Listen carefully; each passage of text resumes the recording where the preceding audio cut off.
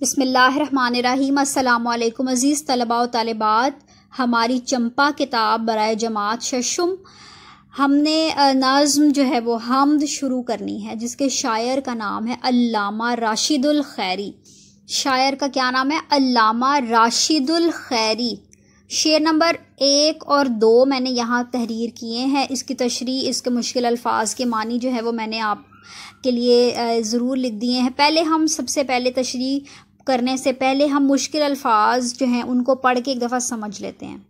पहला लफ्ज़ है बारी। जैसे बारी जो है ये अल्लाह तबारक ताली का एक सिफाती नाम जिसमें अल्लाह की सिफत और ख़ूबी ज़ाहिर होती है। या इसका मतलब होता है पैदा करने वाला, तख्लीक करने वाला। जैसे हम कहते हैं अल्लाह बारी ताला, यानी पैदा करने वाला। जनाब का मतलब होता है मोहतरम, इज़्ज़त वाला जारी का मतलब रवा, मासिवा का मतलब होता है इलावा, बाकी का मतलब होता है रहने वाला, फ़ानी का मतलब होता है मिट जाने वाला, फना हो जाने वाला, ख़त्म हो जाने वाला। यहाँ मैंने इसके तमाम जो मानी, जो शेर नंबर वन और टू के दोनों के मानी मैंने लिख दिए ये पूरी एक नज़म है। इसको मैंने दो दो जो है वो अशार के साथ जो है वो मैं आप को लिख के दूँगी। बीस टोटल मैंने जहाँ तक काउंट किया अशार बनते हैं तो मैं दो दो करके आपको जो है वो इसकी तशीहात के हवाले से एक्सप्लेन करती चली जाऊँगी। अब हम शेर पढ़ लेते हैं। हमद जनाब बारी। हमद का मतलब होता है तारीफ़। तो जनाब का मतलब अभी मैंने आपको बताया, मोहतरम बारी का मतलब पैदा करने वाला। खालिक तख्लीक कार तो अल्लाह तबारक ताला जो हमारा पैदा करने वाला है, उसका विरद, उसकी हमद, उसकी सना, उसकी तारीफ़, उसकी तोसीफ़ ज़बान पर जारी रखो।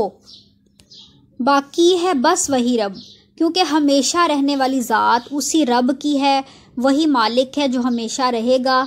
फ़ानी है माँ सिवा। माँ सिवा का मतलब अलावा फ़ानी मिट जाने वाला। इसके अलावा अल्लाह तबारक ताली की ज़ात के अलावा अल्लाह सुबहान ताली की ज़ात के अलावा दुनिया की हर शय, हर मखलूक मिट जाने वाली, ख़त्म हो जाने वाली फ़ना हो जाने वाली है। इसलिए अल्लाह तबारक ताली की तारीफ़ व तोसीफ़ बयान करो, उसकी बड़ाई बयान करो।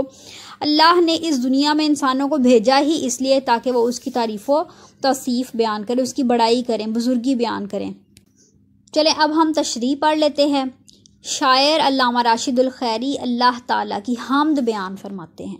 वो कहते हैं कि हमें अपने पैदा करने वाले की बड़ाई और बुज़ुर्गी बयान करनी चाहिए, क्योंकि वही हकीकी तारीफ़ के लायक है। दुनिया में मौजूद तमाम मखलूक़ात अल्लाह की तारीफ़ व तोसीफ़ बयान करती हैं। उसकी पाकि, उसकी बुज़ुर्गी, उसकी बड़ाई बयान करती हैं।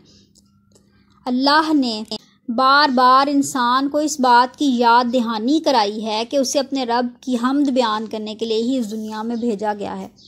कुरान में एक जगह इरशाद होता है ए लोगो, जो ईमान लाए हो, अल्लाह को कसरत से याद करो और सुबह शाम उसकी तस्बी करते रहो। ये सूरह अहजाब में अल्लाह ताला ने फरमाया कि इंसान को दुनिया में भेजने का मकसद, सबसे बड़ा मकसद यह है कि वो अल्लाह तबारक ताली को इस दुनिया के कामों के साथ साथ याद रखे, उसका ज़िक्र करे, उसकी हमद बयान करे। फिर सुर फ़तह में एक और जगह इरशाद होता है और सुबह शाम उसकी तस्बीह करते रहो। वो हमेशा रहने वाला है। उसके अलावा दुनिया की तमाम मखलूक़ात मिट जाने वाली हैं। वही है जो हमेशा बाकी रहने वाला है।